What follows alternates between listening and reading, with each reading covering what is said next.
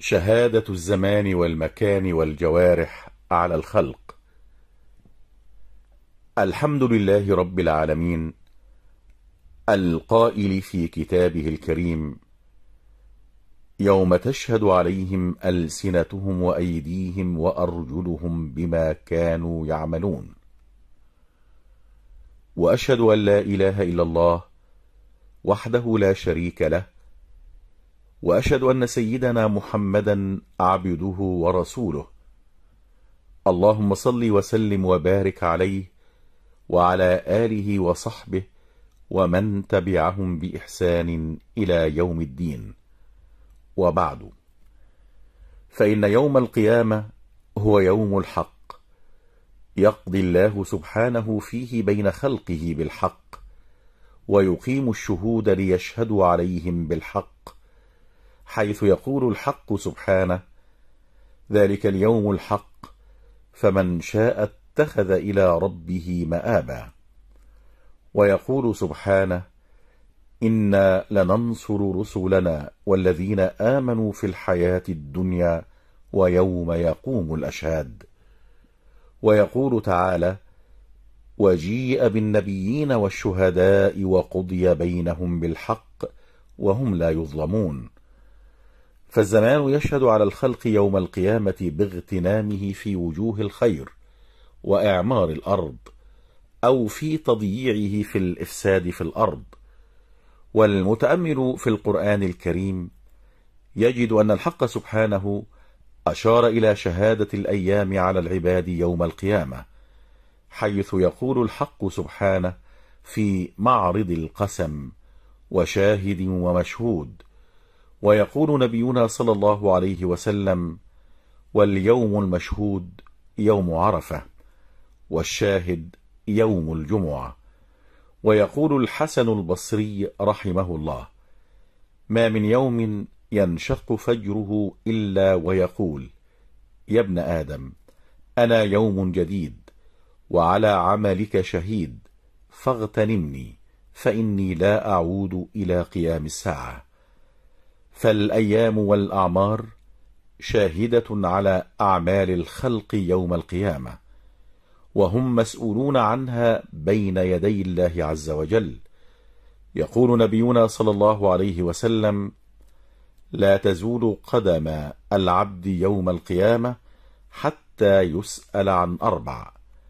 عن عمره فيما افناه وعن شبابه فيما ابلاه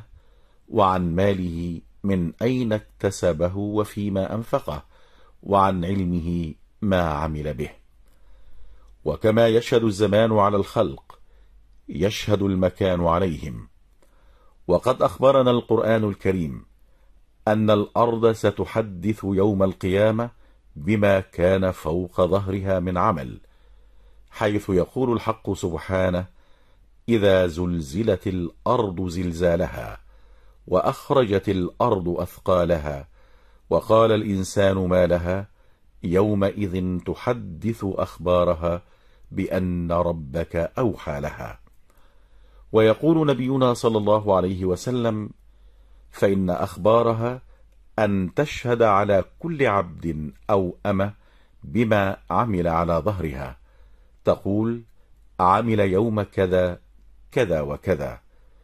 ويقول صلى الله عليه وسلم دياركم تكتب آثاركم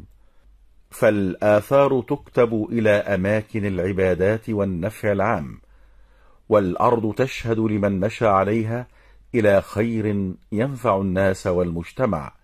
كما تشهد بالشر لمن سعى إليه وسلك سبله ومصداق ذلك قول الحق سبحانه إنا نحن نحيي الموتى ونكتب ما قدموا وآثارهم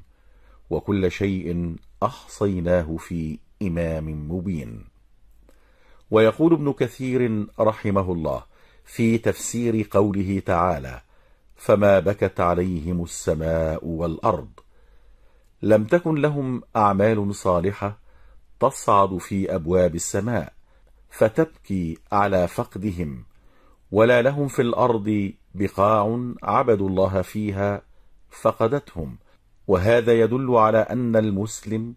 إذا مات تبكيه من الأرض محل عباداته وطاعاته ويبكيه أهل الأرض ممن كان يحسن إليهم ويشملهم بأخلاقه وإحسانه وتبكيه السماء التي كان يصعد إليها عمله الصالح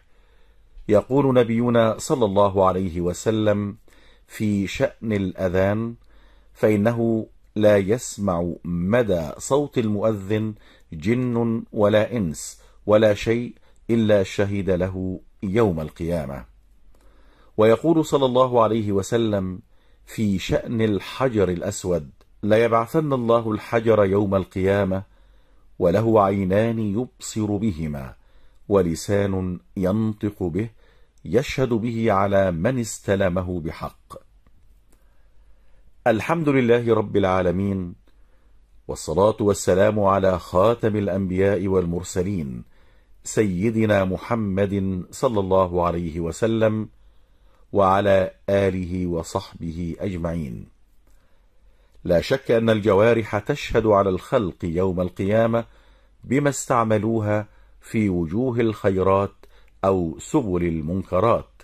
حيث يقول الحق سبحانه شهد عليهم سمعهم وأبصارهم وجلودهم بما كانوا يعملون ويقول سبحانه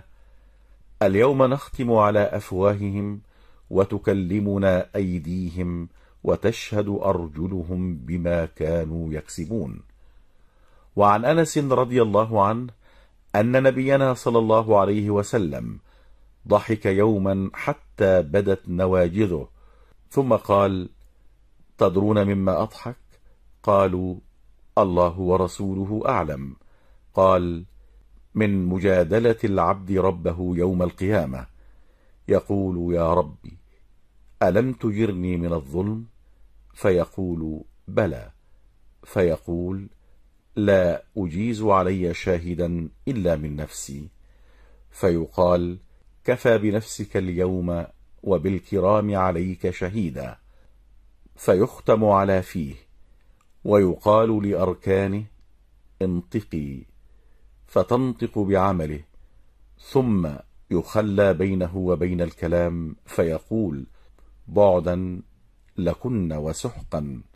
فعن كن كنت أناضل